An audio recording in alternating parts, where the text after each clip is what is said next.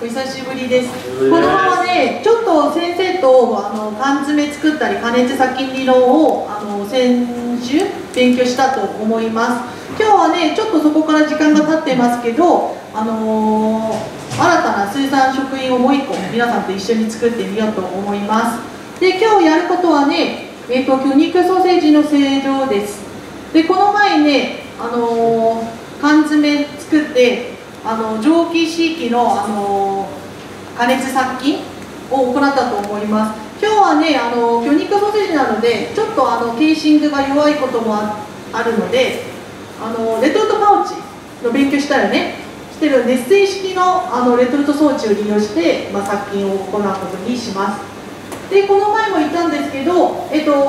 缶詰はね非常に単純な食品なんですけどその作る過程でいろんな化学反応がありますということで皆さんと一緒に勉強しています。で今日やる魚肉ソーセージもね、まあ、非常に簡単な原理なんですけど皆さんとやっぱりその家庭で起こる化学反応について一緒に勉強しようと思っています。その前にねデータと取るとして、まあ、大事なのは缶詰でも言ったんですけど物質収支食品作る時とか化学反応系で入れた量に対してどのぐらいの量が出るか。ということは必ず重要なことです。先生こんなに魚使ったんですけどソーセージ3本ぐらい出ましたデータは。ちょっとどこかでロースがあったり問題があるということですよね。なのでね必ず入れた量この食品作る時は原料がいくらでどのぐらいのものができたかということをデータとして大事にします。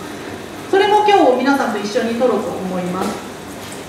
で今日はね、えーと、原料はカラクトマスおしょろマスで取ってるマスになっています。そことスケとタラのすり身、まあ、今からみんなと切って、あのー必要な量だけ取ろうと思います。朝ね3枚おろししても準備してますので皆さんと、あのーサイコロ状に取って、あのー一緒に混ぜてやろうかなと思っています。今日はね必要な量がもう完全に決まっていっててそこを皆さんと一緒に測りますけど原料としてはねカラットマス 1.7kg とすり身 2kg これが1葉各葉準備してやります。ということで魚肉ソーセージといったら魚肉のゲル形成ですよね。それ皆さん多分数食品科学と水産科学であの教えてもらったと思いますけど魚の肉の中にあるというこのゲル形成に関与するタンパク質2つ何ですかね。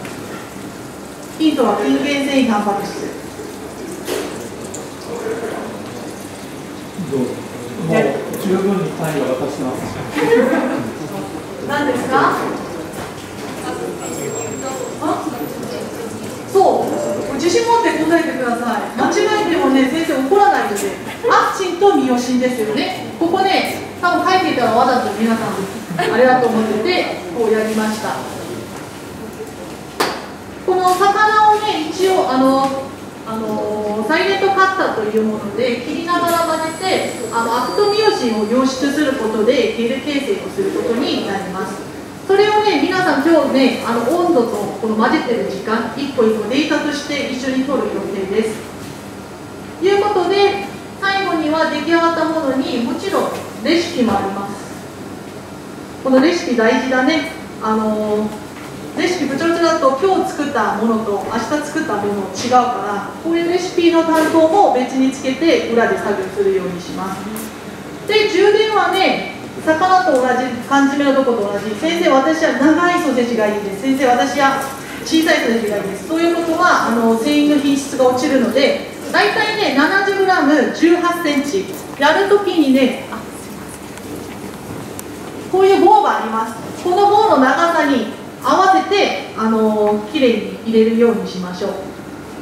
そしてねあの密封して加熱します。ただしね今今日の加熱は、えー、と90度20分。これでいいんですか皆さん？希望持ってる人？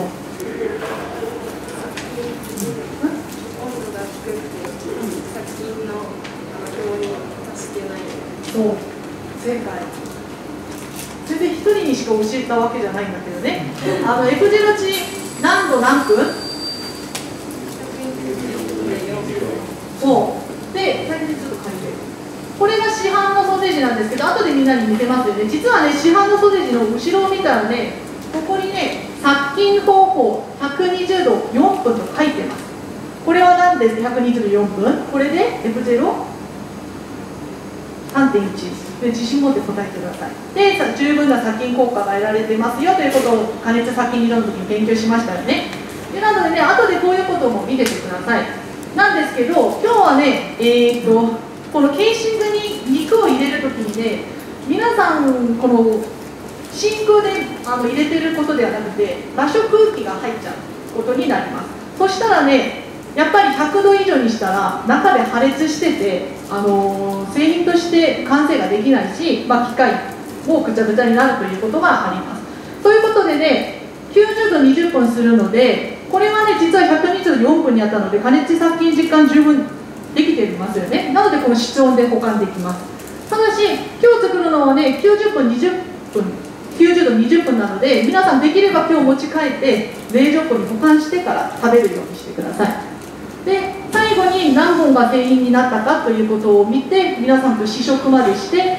今日は終わりになると思います。そのところどころでね今日はねいろんな機械を利用することになります。先生方ちょっとこう担当してるところが違いますけど細かい説明はそこでまだあのあらかじめやりますのでメモとあのペンは必ず持ってってください。あと今日一番大事なの先生が初めのとこ行った時手は後ろに組まない。手は前。で1番も安全2番も安全3番も安全怪我しないように今日も包丁とかいろんな機械を動かしますのでぼーっとしなくて集中して参加するようにしてください。以上です。あ今日はねなんで2つのグループに分けたといったらどっちかはね赤いソーセージを作ってどっちかは色がないソーセージを作ります。もちろんね試食する時にはね両方食べられるのであの安心してください。いうことでねちょっとレシピが異なります。あのどっちかが A の1案に